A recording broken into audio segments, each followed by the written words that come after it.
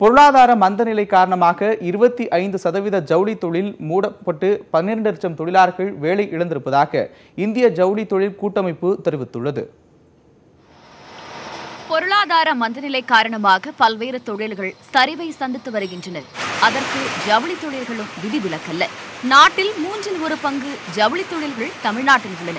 அவை நாற்பத்தேழு சதவிகித நூல் உற்பத்தியை தருவதுடன் சுமார் அறுபது லட்சம் பேருக்கு வேலை வாய்ப்புகளை தந்து வருகின்றனர் நாட்டின் ஐம்பத்து நான்கு சதவிகித பருத்தி நூல் ஏற்றுமதிக்கு தமிழ்நாடு கை கொடுத்து வந்த நிலையில் தற்போது முப்பத்தைந்து சதவிகிதம் குறைந்துள்ளது.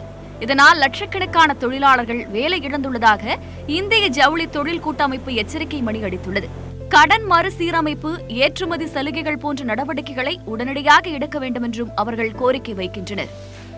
இந்த ஜவுளி தொழில் அஹ், இருக்கக்கூடிய யூனிட்ஸ் வாங்கியிருக்கிற கடனை டெட் ரீஸ்ட்ரக்சரிங் அப்படின்னு சொன்னால் அந்த கடனை வந்து மறுபடியும் ஒரு ஹாலிடே கொடுத்து ரீஸ்ட்ரக்சர் பண்ணி தரணும்னு கேட்டிருக்கோம். பருத்தி நூல் ஏற்றுமதிக்கு எந்த விதமான சலுகையும் கிடையாது. ஒரு மாதத்தில் குறைஞ்சபட்சம் பார்த்தீங்கன்னா நூறு மில்லியன் கேஜிஸ் வந்து எக்ஸ்போர்ட் ஆகிட்டு இருந்துச்சு. அந்த அதில் வந்து இந்த ஜூன் ஜூலையில் பார்த்தீங்கன்னா கிட்டத்தட்ட முப்பத்தஞ்சு பர்சன்ட் குறைஞ்சிருக்கு. அறுபது மில்லியன் கேஜிஸ் தான் எக்ஸ்போர்ட் போயிருக்கு. அது வந்து சீராகணும்னு சொல்லி சொன்னால் அதுக்கு ஒரு ஊக்கத்தை அந்த மற்ற ஜவுளி தொழில் இருக்கக்கூடிய மற்ற துறைகளுக்கு பின்னலாடை ஆகட்டும் சரி கிளாத் ஆகட்டும் சரி மற்றதுக்கெல்லாம் கொடுத்துருக்கிற மாதிரி இதுக்கும் ஒரு எக்ஸ்போர்ட் இன்சென்டிவ் அவங்க வழங்கணும்.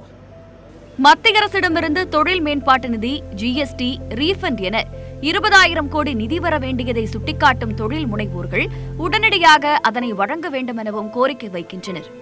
இந்த இருபதாயிரம் கோடி ரூபாங்கிறது வந்து இன்னைக்கு டஃப் நிதி லேயே வந்து கிட்டத்தட்ட பன்னெண்டாயிரம் கோடி ரூபாய் வந்து ஆல் இண்டியா லெவலில் நமக்கு வந்து நிலுவையில் இருக்குது. ஒரு கிட்டத்தட்ட வந்து பத்து வருஷமாக நமக்கு வந்து கொடுக்காம நிற்கிது அது தொடர்ந்து பல்வேறு சிக்கல்கள்னால இது வந்து அப்படியே அக்யூமுலேட் ஆகிடுச்சு இது போக வந்து நமக்கு இந்த ஆர்ஓஎஸ்எல் அப்புறம் வந்து டியூட்டி ட்ராபேக் எம்இஐஎஸ் அப்புறம் வந்து உங்களுக்கு ஜிஎஸ்டி ரீஃபண்டு இந்த மாதிரி வந்து வரி சலுகைகள் எல்லாமே வந்து ரீஃபண்ட் வந்து கிட்டத்தட்ட ஒரு ஏழு எட்டாயிரம் கோடி ரூபாய் வர வேண்டிய இருக்குதுங்க.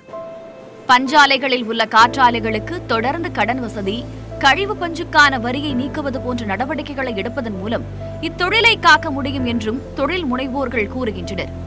பனிரெண்டு லட்சம் தொழிலாளர்கள் வேலை இழப்பது என்பது மிகப்பெரிய அழிவுக்கான முன்னெச்சரிக்கையாக எடுத்துக்கொண்டு அரசு போர்க்கால நடவடிக்கைகளில் இறங்க வேண்டும் என்பதே அனைவரின் எதிர்பார்ப்பாக உள்ளது.